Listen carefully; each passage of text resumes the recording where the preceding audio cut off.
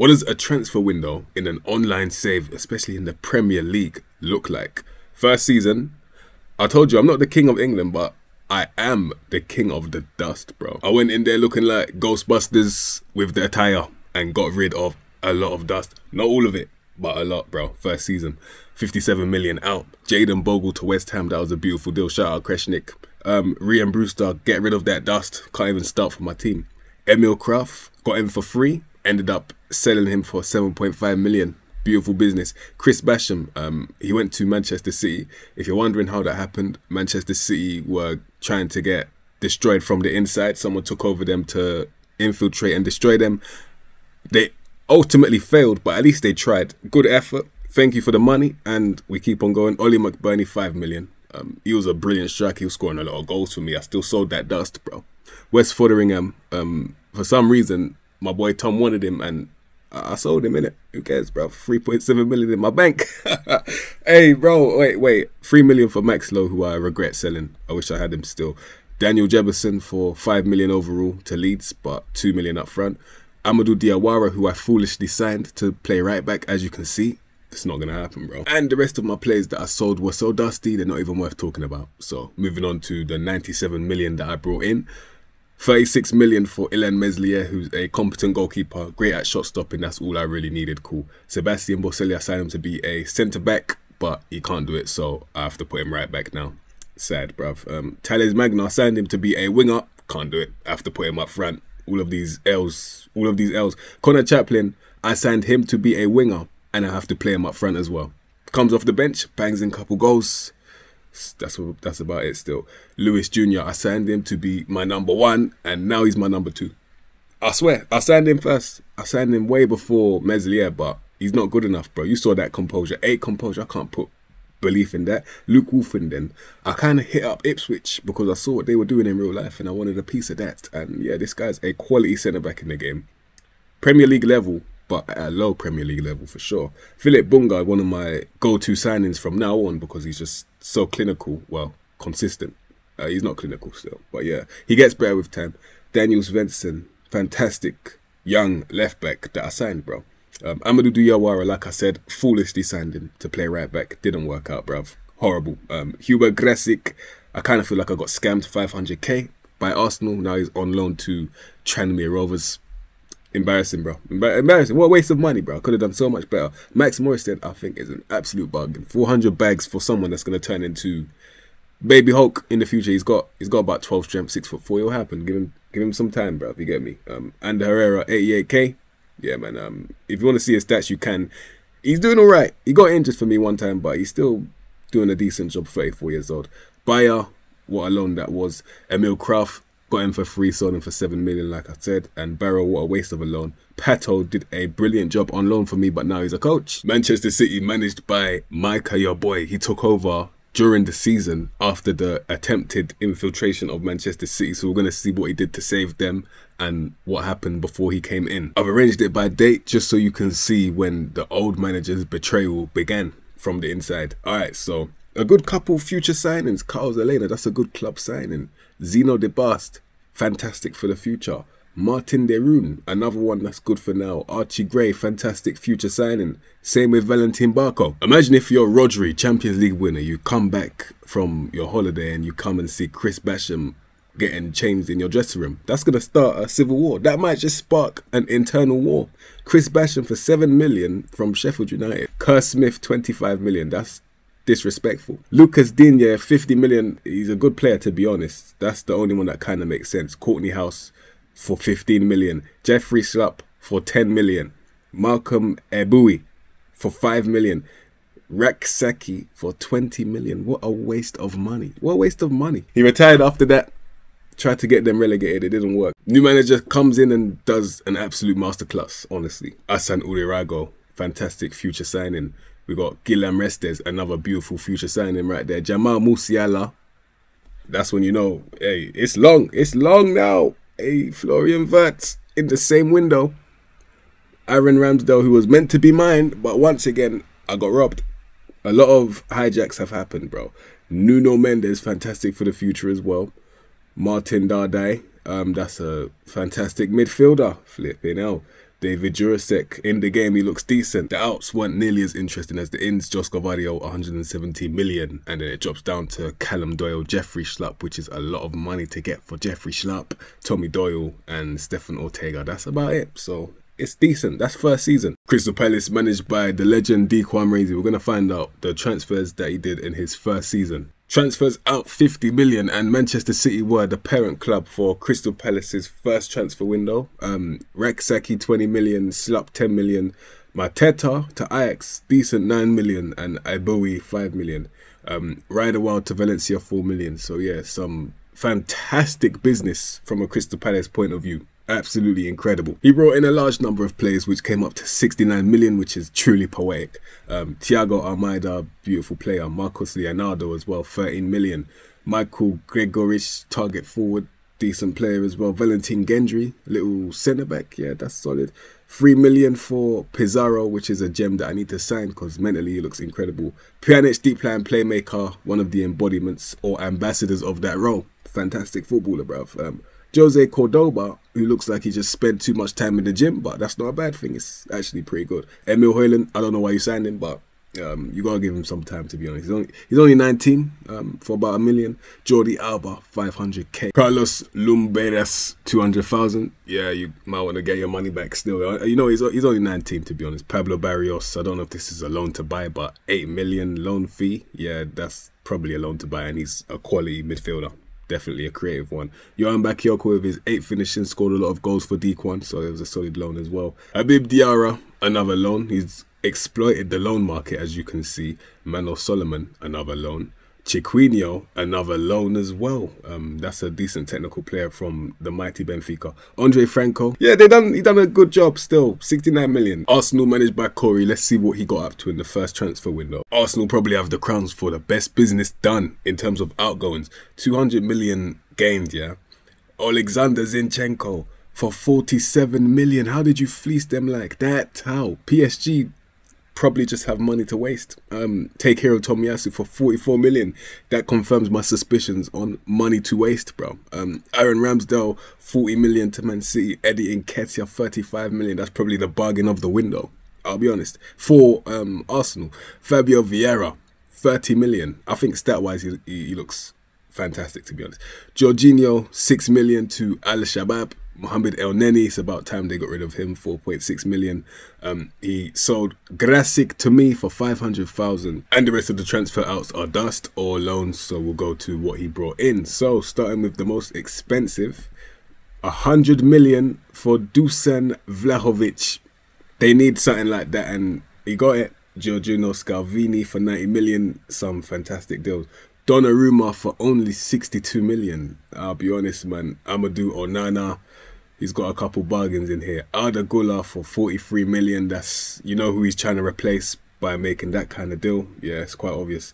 Um, Jeremy Frimpong for only 30 million. I mean, yeah, he's probably king of bargains. Roony Bardghji, Manuel Neuer for 8 million. Um, yep. N'Golo Kante for 5 million. Alidu Saidu for 6 million. So I'm assuming that's squad depth. He brought in Hulk, who once again meant to be mine, got robbed. Amadou Diawara, he helped me out by signing him for one million. He didn't really need to do that. So I appreciate it. Thank you. David Luiz, I don't know what he was trying to relive.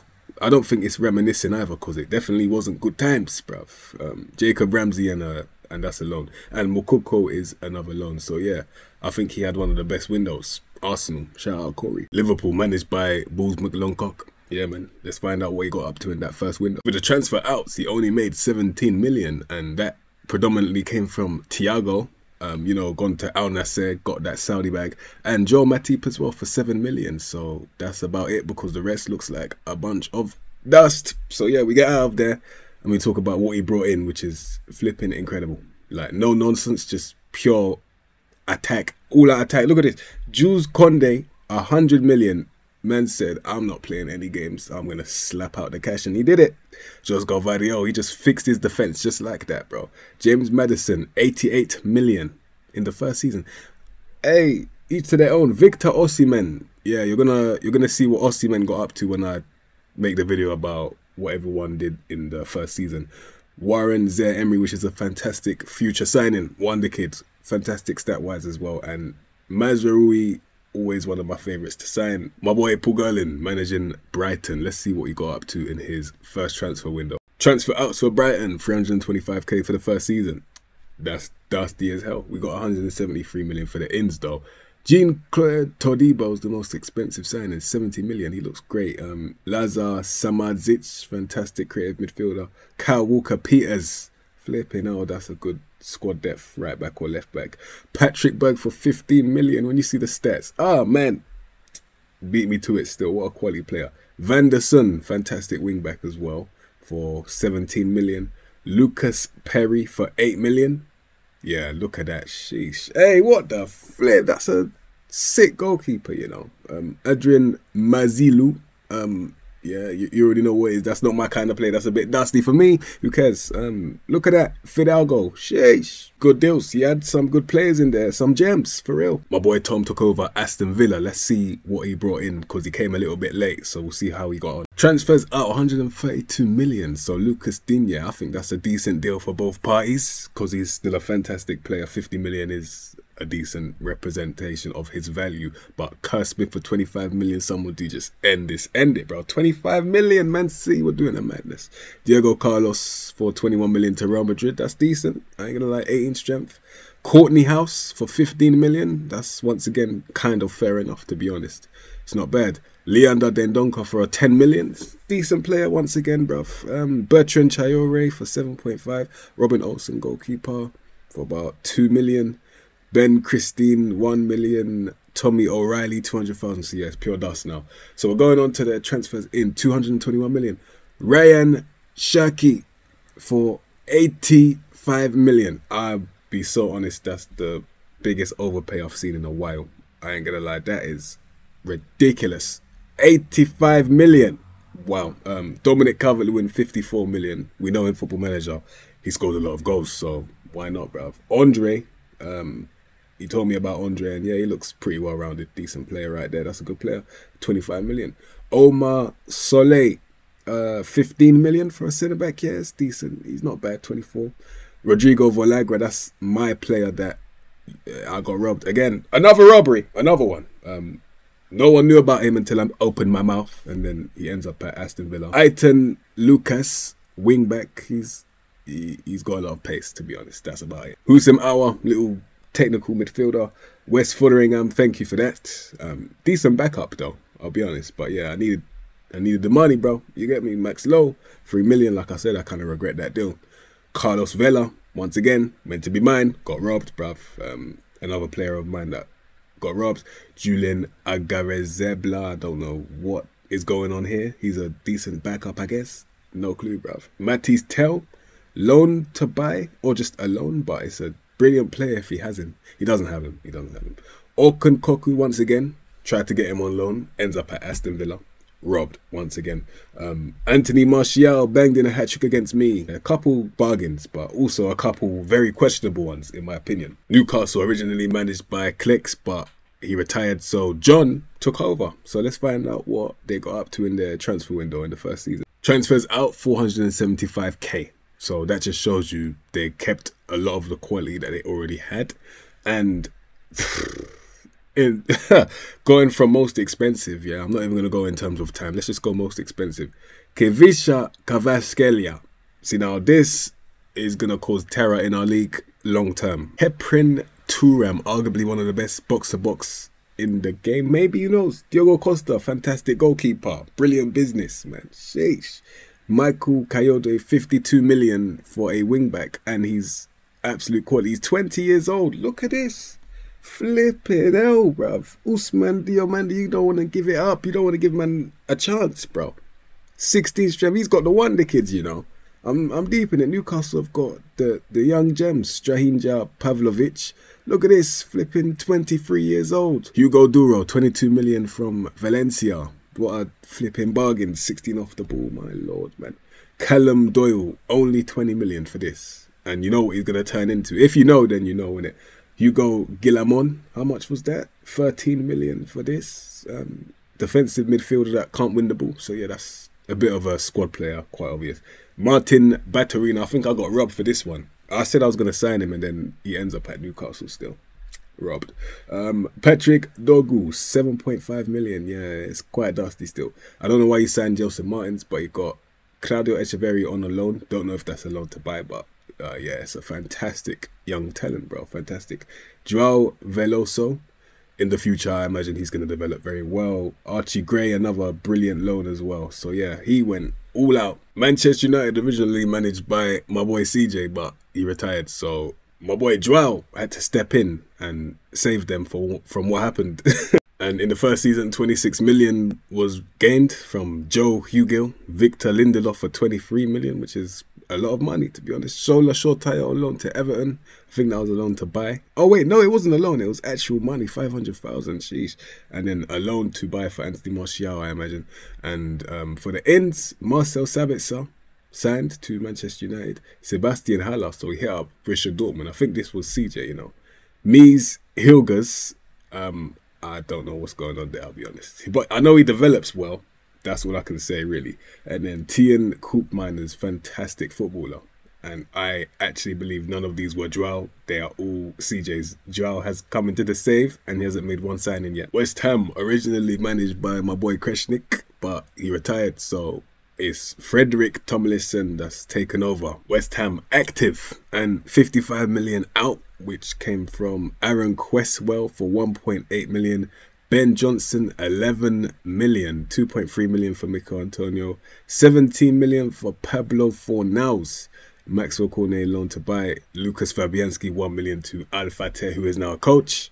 500k for Angelo Ogbonna, who's retired. Kurt Zouma for 19 million to Leicester, which is an absolute bargain. For the ins, 205 million. Man weren't playing no games. Yeremy Pino, 65 million. Eddie Nketiah, 35 million, who in the game, stat-wise, looks flipping incredible somehow. Caio Henrique, um, man said Enrique. Enrique for 29 million, that's a fantastic wingback.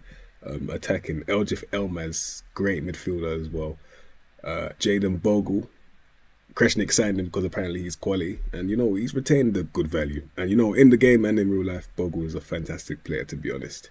Alban Lafont, solid goalkeeper. He's a backup for now. Jordan Teze, 13 million, decent um, defender. Mario Pasalic, 9 million. Kayan Edwards from Arsenal for 300k, and the rest are loans. Quarta from Fiorentina, that's a solid centre back, flip, you know. Um, Chowdhury, I can never understand and Thomas Lemar is a decent loan. Man like Paps came late into the season but got a couple of his transfers over the line in the first window, so let's see what he got up to. 5.5 million for the outs, Joe Rothwell 3.4 million, absolute bargain for Paps. Kieffer Moore for 1.4 million, another bargain, and the rest are dusty loans. So yeah, um, 60 million for Bournemouth. Let's see what he got up to. So most expensive, Nehuen Perez from Udinese, a centre back, 15 tackle. Yeah, that's pretty decent. 12 million. Nelson Weiper. Yeah, they told me to sign him, but he ended up at Bournemouth. Brilliant for the future. Brilliant for the future. Um, Sergey Pinev, 12.5 million from Lokomotiv Moscow. Oh, yeah, flip it out. Quality. Quali, quali. Eren Elmali for 12.25 million. I'm probably messing up the pronunciation, but it won't be nearly as bad as the way the defenders will probably mess him up as well. So I'll probably get a pass. Nicholas Sanchez, 6.25 million, and Anchorman, pretty decent as well. Um, Franco Gonzalez from Penarol, man, got all of the unknown, but 20, 16 finishing, what a fit, 20 years old. Yeah, he knows what he's doing. Pabs, Pabs knows the gems. Andrea Carboni, 3 million. Uh, yeah, that's, oh wait, that's a loan. I think it was a loan. Was it? Oh, he sold him already. Ah, see. Ivan Azon, pressing forward, 13 finishing, yeah, 17 work rate. I see the intention. He's got a lot of intent, bruv. Uh, Costinha for 2.1 million wingback defend, who can very much defend. Solid player. Um, Caden Rodney, 700,000. Yeah, just pure dust in my face. Hugo Ekitike on loan from PSG. That's a solid player that he's brought in there. Sheesh, yeah, man. He's oh, and Vestergaard as well. Is he still there? Wow, some serious gems in there. Bournemouth got some serious hidden talent. Moment of silence for all the managers that joined and never came back. Um, Fulham, we got Kreshnik, CJ, Hussein, Thomas, Richard Tim, which is the funniest one because I saw the scoreline. He was getting battered like 5 1. And then he left. he never came back. And then his flipping team went on to win the Carabao Cup and they give problems to all of us in the league. So that's why we've kept him there. Um, Luton, Brentford. So yeah, a couple ones that haven't come back. But yeah, man, big up everybody in the online save, and we're gonna be making a video about what happened in season one very soon. You'll see it soon. So yeah, big up everyone. Have a good.